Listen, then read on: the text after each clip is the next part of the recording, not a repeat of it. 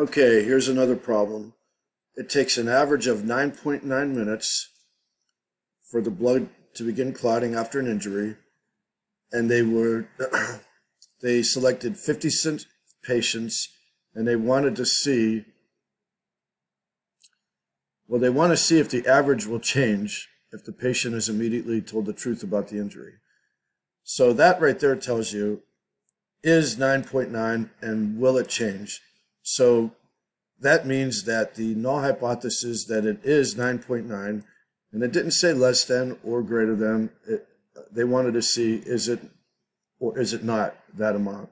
So the alternative hypothesis is that the mean is not 9.9 so that means it's a two-tailed test okay? Remember the alternative hypothesis will always tell you whether it's a one-tail or two-tail test and uh, if it's not equal to it's a two-tail test okay and if it's less than, it's a left tail test. And if it's greater than, it's a right tail test. But in this case, it's not equal to, it's a two tail test. Okay. So I've gone ahead and again, trying to keep this video short. Uh, the N sample size is 56. The population mean, which is what they say they take an at, at average before they did any testing. The sample mean is 9.6. The standard deviation is 2.39. And the alpha, which is the same thing as the significance level, level of significance, however you want to say it, Okay, now the t-value is the test statistic. Scroll this down so we can see these parts of the answer. The test statistic is negative nine, negative 0.939, okay?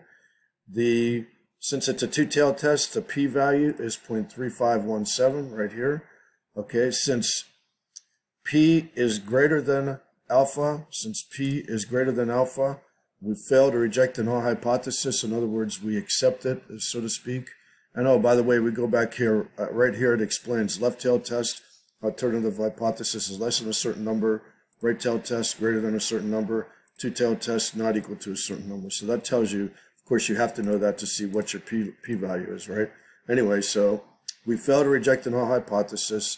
And based on that fact, we basically accept the null hypothesis and the answer is the data suggests that the population mean is not significantly different from 9.9.